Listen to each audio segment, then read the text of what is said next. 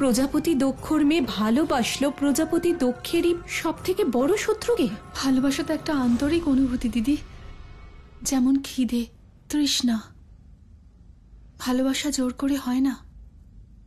অন্তর থেকে আসে। আর কাউকে ভালোবাসার পর সেটা শুধু অনুভব করা যায়। আমি কখনো ভাবতেও পারিনি। ব্যাস, ভালোবেসে ফেলেছি। কবে? কীভাবে? জানি না তো। কিন্তু শিবের ভালোবাসা আমার কাছে সবকিছু। আমি কেবল শিবের দিদি।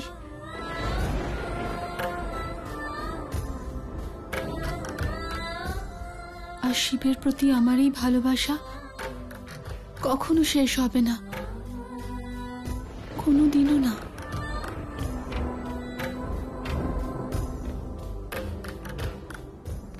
কি জানো যে তুমি কোন পথ বেছে নিয়েছো সতী?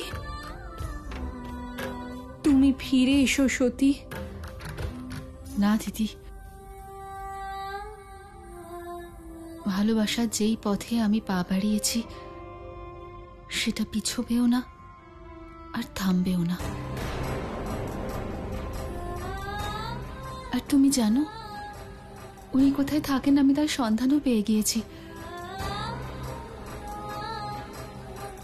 আর আমি ওনাকে খুঁজতে হিমালয়ের দিকে কৈলাসে যাব।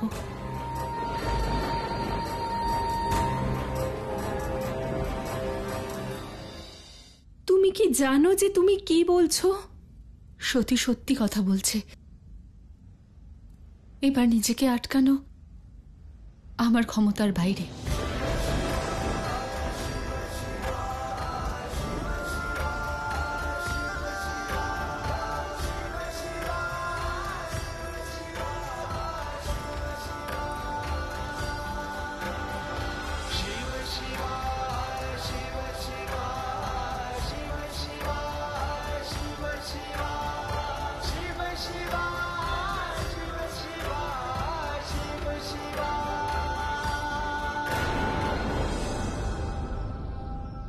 তারপরের কাহিনী শোনান। নারদমণি যেই উদ্দেশ্যে কৈলাসে গিয়েছিলেন উনি কি তাতে সফল হয়েছিলেন? নারদমণি কৈলাসে গিয়ে এই ধন্ধে ছিলেন যে সতী আর শিবের ভালোবাসাকে কীভাবে এগিয়ে নিয়ে যাবেন। তারপরে কি হলো? তাড়াতাড়ি বলুন না। যেখানে একদিকে সতী শিবকে খুঁজতে কৈলাসের দিকে অগ্রসর হলেন সেখানে অন্যদিকে নন্দী আর নারদ এই ধন্দে ছিলেন, যেই ভালোবাসাকে কীভাবে এগিয়ে নিয়ে যাওয়া যায়। কি করব নন্দী?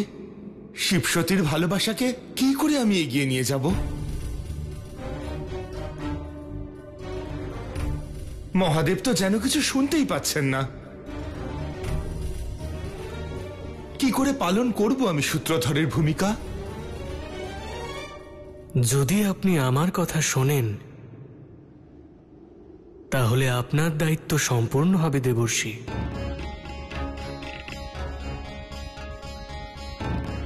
আচ্ছা বলুন। প্রভুর ওপর থেকে মনোযোগ সরিয়ে আপনি মা সতীর মনের ভালোবাসার অঙ্কুরিত বীজকে আরও বিকশিত করার দিকে মনোযোগ দিন দেবর্ষী। আমি ঠিক বুঝলাম না। দেখুন মা সতী যখন প্রভুকে পাবেন তখন উনি স্বয়ং প্রভুর মনে ভালোবাসা জাগ্রত করবেন। কিন্তু মহাদেবের মনে ভালোবাসা জাগ্রত না হলে মা সতী কীভাবে পাবেন মহাদেবকে? কীভাবে ওনার মনে ভালোবাসা জাগ্রত করবেন? জানি না কোথায় ঠিক কোন দিকে কৈলাস? সতী!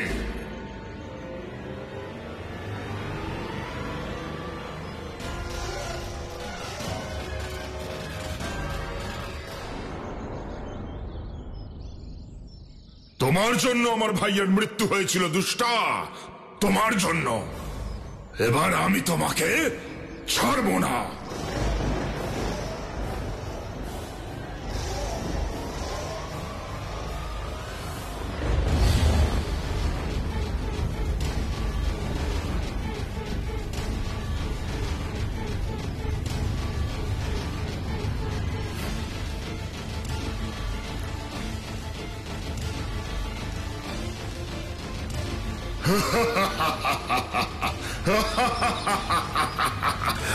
Ha ha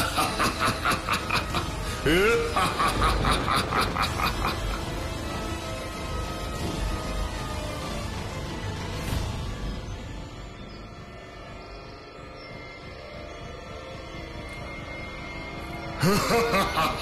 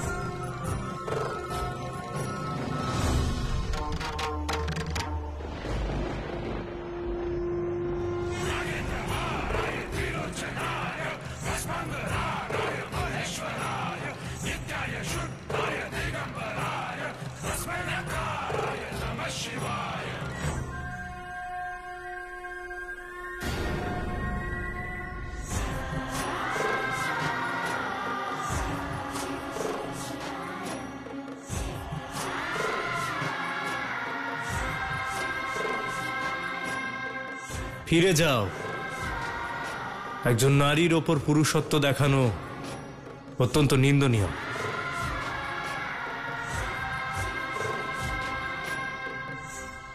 আর তুমি যে এখানে এসেছ, সেটা কি প্রশংসনীয়, শিব? এবার আমি একসাথে তোমাদের দুজনের উপর আমার ভাইয়ের মৃত্যুর প্রতিশোধ নেব।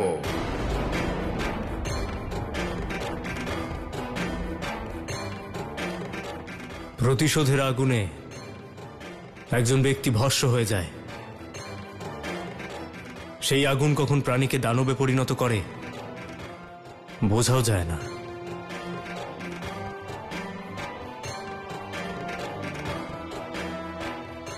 আপনি ঠিকই বলেছেন, শিব।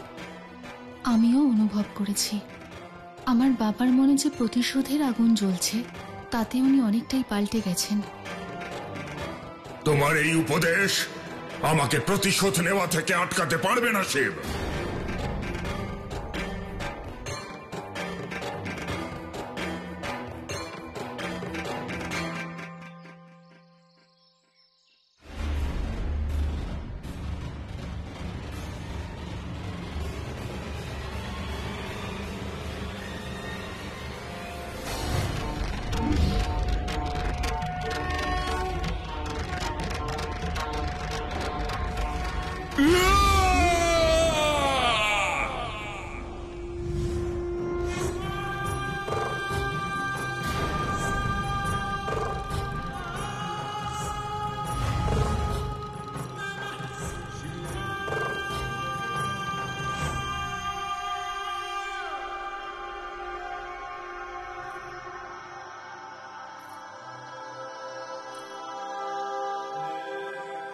আজ আমি বুঝতে পেরেছি যে আমি আপনাকে আর আপনি আমাকে না, তুমি বোঝনি।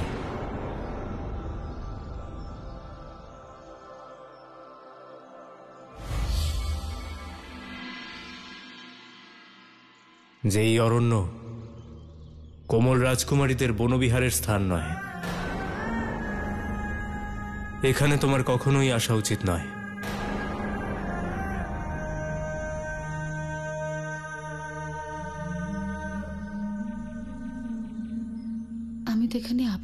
এসেছি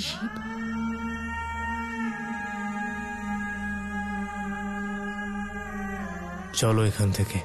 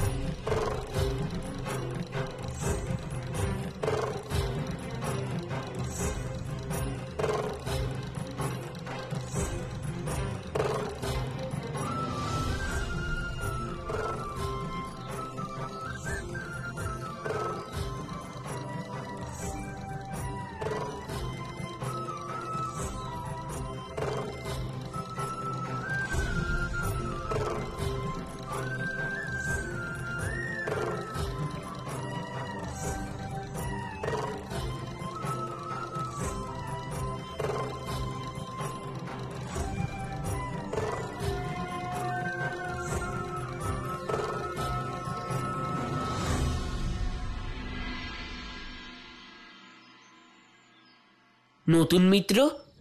মহাদেব কি সতীকে কৈলাসে নিয়ে যাওয়ার জন্য এসেছিলেন? ঠিক এই একই প্রশ্ন। সতীর মনেও এসেছিল। কিন্তু সতী যে উত্তর পেয়েছিলেন, সেটা তার আশানুরূপ ছিল না। শিব, আপনাকে নিয়ে আমার যে বিপরীত ধারণা ছিল, আজ সেই ধারণাই আপনার অভিমুখে বইতে শুরু করেছে।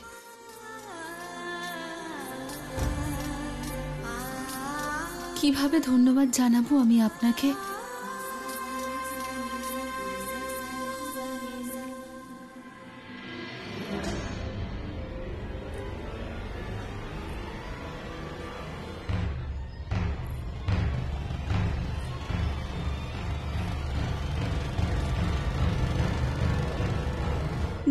শিব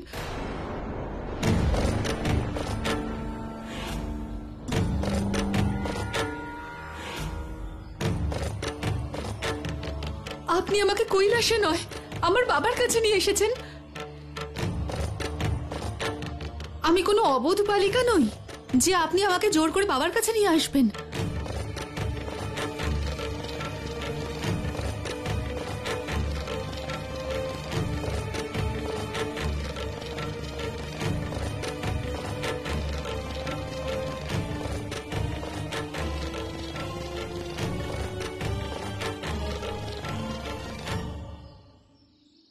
তাহলে সতীকে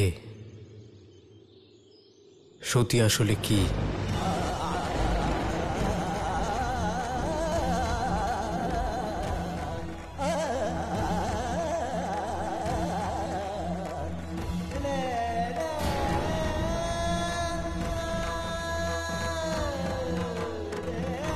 সতী কে?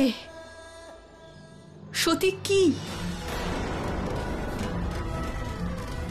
এটা জানার আগে আমি আপনার কাছে একটা প্রশ্ন করতে চাই। আপনি এই প্রশ্নটা ওই জঙ্গলেই কেন করেননি, যেখানে প্রথমবার দেখা হয়েছিল? এইখানে নিয়ে এসে জিজ্ঞেস করছেন কেন?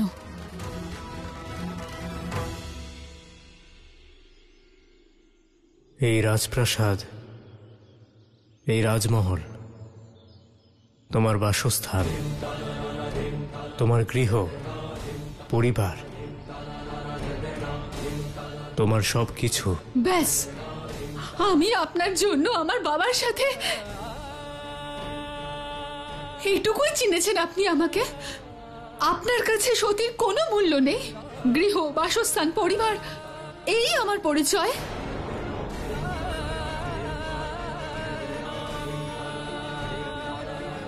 না, চেনেন না আপনি আমাকে। আমি আপনাকে বলছি সতী কে সতী কে?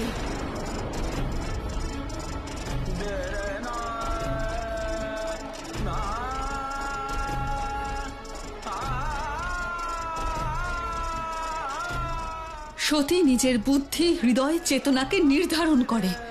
সতী স্বতন্ত্রতার মাপকাঠি। সতী হল সেই রাজকুমারী যে নিজের ঠিক এবং ভুল সিদ্ধান্তের দায়িত্ব বহন করতে জানে।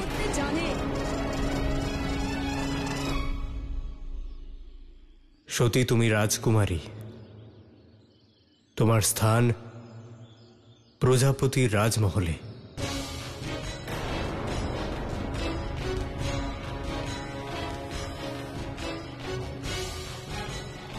অরণ্যে ঘুরে বেড়ানো ঠিক নয় সতী। আপনার বলার দরকার নেই কোনটা ঠিক আর কোনটা ভুল। এবার আপনি আমাকে অপমান করছেন। আমার প্রাণ রক্ষা করে আপনি কি ভেবেছেন যে সতী দুর্বল? সতী নিরীহ নয়। সতীর নিজেকে রক্ষা করার জন্য না নিজের বাবাকে প্রয়োজন আর না শিবের।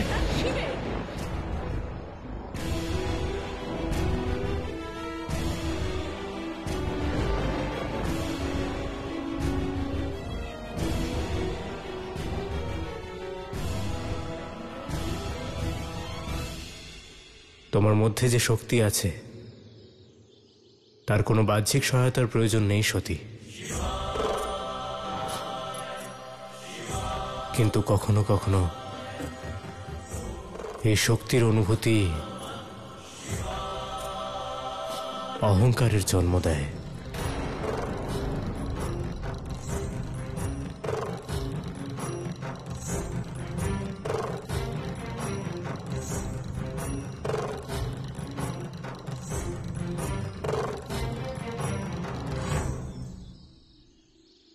অহংকার? আপনি আমার অন্তর, আমার হৃদয়, আমার ভাবনার মধ্যে একটি জিনিসই খুঁজে পেয়েছেন? অহংকার।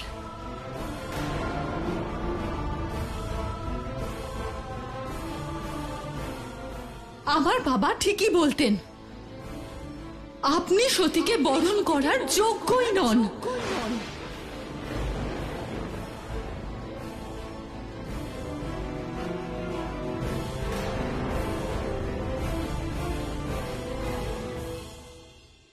যোগ্যতা আর অযোগ্যতার তো প্রশ্নই ওঠে না সতী।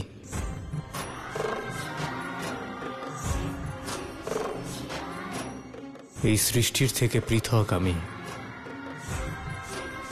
সমস্ত মোহর থেকে অনেক দূরে।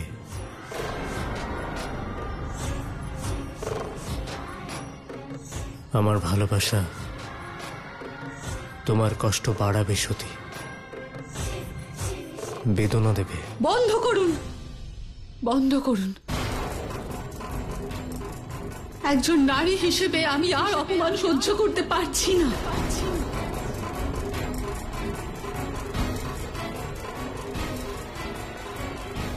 আমি প্রজাপতি দক্ষের মেয়ে সতী। আপনাকে ত্যাগ করছি।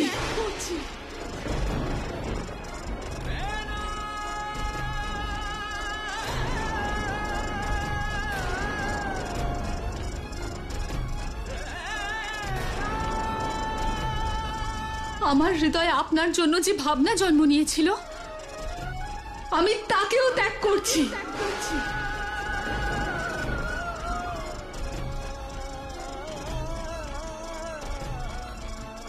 আজ আমি বুঝতে পেরেছি, আমার বাবা আপনাকে যে অভিশাপ দিয়েছিলেন, আপনি তারই যোগ্য। আপনি অর্বাচীন, নির্বাসিত এবং অযাচিত।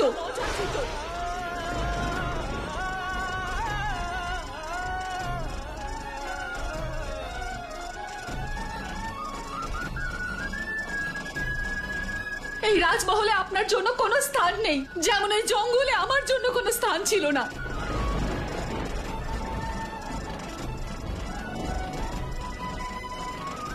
চলে যান এখান থেকে। যান, আপনার এখানে কোনো প্রয়োজন নেই। যান এখান থেকে। চলে যান।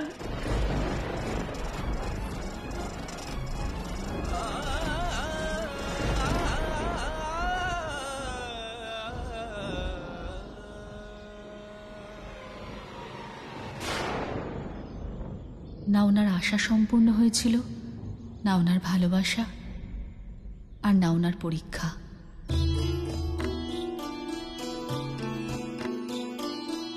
ওনার এই সত্যিটা অজানা ছিল যে ওনাকে বিরহের একটা লম্বা পথ অতিক্রম করতে হবে।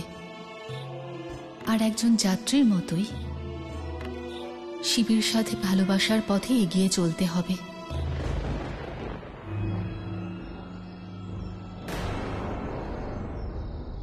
নন্দী, মা তো মহাদেবের উপর রুষ্ট হয়েছেন।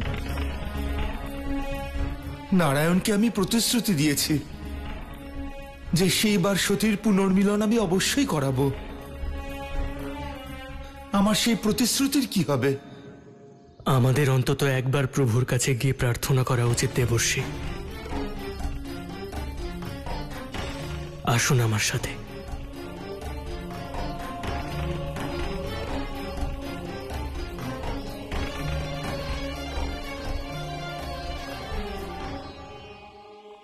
প্রণাম প্রভু। প্রণাম প্রভু।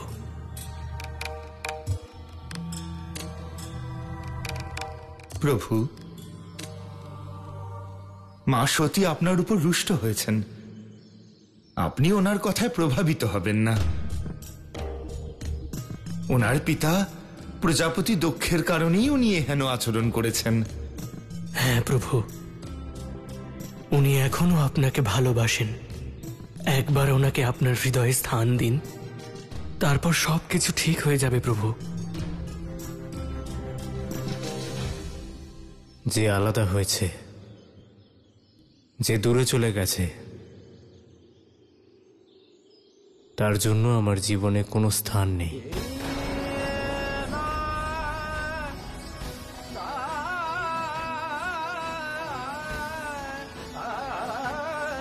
আমায় ক্ষমা করবেন প্রভু।